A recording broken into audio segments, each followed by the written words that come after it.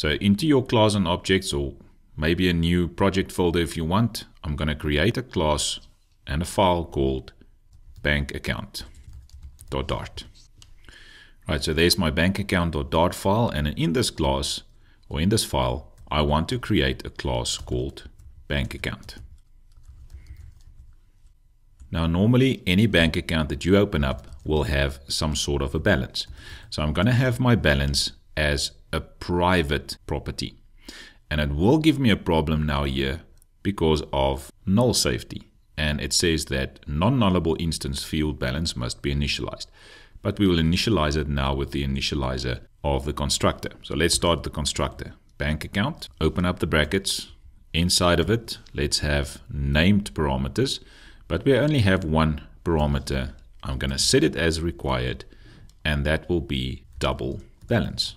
Now still it's not happy because we haven't initialized the balance. So at the end there, just before your semicolon there, we'll add a colon and we'll initialize. So I'm going to initialize the balance, which is the private variable, to the balance that will be passed in using this constructor. Okay. So now how do we use this? Let's go to the main dot dart. I'm going to remove all the data for the house there. And we can go and create let's say var, let's call it account, equals bank account. And now if I click on that constructor that you can see there for the autocomplete, it will automatically import, let's just remove the house import there, it will import bank account or dot. And that's exactly where my class is situated. So the bank account will have a name parameter called balance, and I can set the balance to whatever I want. Right, so let's go back. Uh, by the way, instead of declaring something as a var there, I could have also said bank account. So this will essentially do exactly the same thing. If I hover over account, you can see it's of type bank account.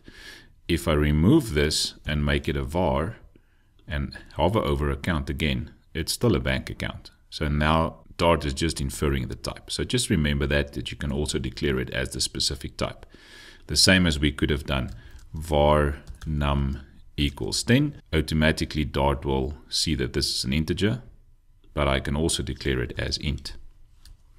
And then Dart will also see it as an integer.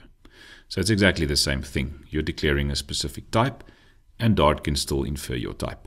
Let's go back to the bank account. So we've got a balance that's private, so which means I cannot access underscore balance directly. I need to have a setter and a getter. So let's create the getter quickly. It's a double. I'm going to call get. Let's call it balance.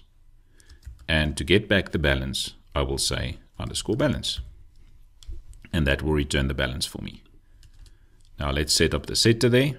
It's going to be set balance, same name. I will get an amount passed into it and then set our balance to this amount that was passed in. So you can see it's exactly the same we did with the house class, where we had the getters and the setters. The only difference now is that we only have one property at the top that we are initializing in the constructor that we're getting using the getter and we're setting using the setter. Now let's look at some interesting methods that we can also add for a bank account. We could, for example, add void deposit. So if I want to add something to the balance, that's normally called a deposit. I'm depositing some money into my bank account and whatever I deposit should be added to the balance at the top. So remember in your bank account constructor, your balance will be initialized. So we can initialize it, I think in main.dart we said it will be a thousand.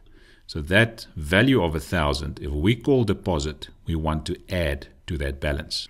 So this function or this method will accept a double amount that I want to deposit. And what am I going to do with that amount? I will take the balance and I will just add to it. So I'm going to say plus equals amount. So I'm going to take the balance and the new value of balance should be the previous value plus the amount. And that's what the plus equal sign will do for me. So that's the deposit method to add something to the balance. Then we can also have a withdraw method.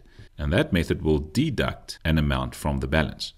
So I can have, again, the amount I want to withdraw but now we'll need to do a bit more. So I'm not going to use the fat arrow there. So if it's only one line, fat arrow works nicely. So the first thing I'm going to do in this if statement is to just make sure that the balance is still bigger than the amount that you want to withdraw. Otherwise, you'll not be able to draw, withdraw some money.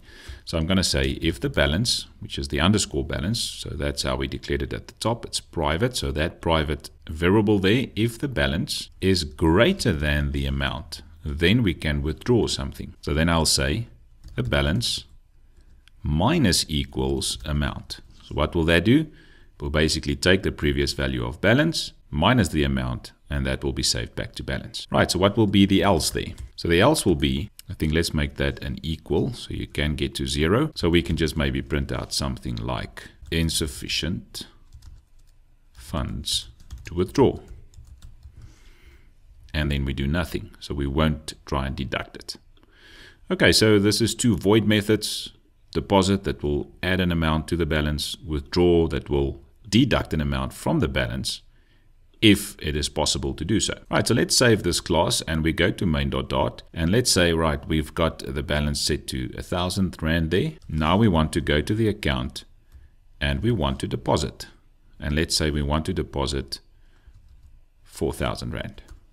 Let's print it out quickly. So I'm going to go to account dot balance. Why is it possible to use balance? You can see I cannot use underscore balance because that's private. This one is private, but using the getter there will return back the balance for me. So I can actually see the balance. So let's print it out, run it quickly, and you can see that the balance is at the bottom 5,000 Rand now. Now let's try and say account dot withdraw. And let's try and withdraw 5,000 Rand. So remember, we've got exactly 5,000 Rand. So let me just copy that one again. Paste it there. Save it. Let's run it again. My balance will be zero. What if I try to withdraw 6,000? Save again. It will print out insufficient funds. Your balance is still 5,000.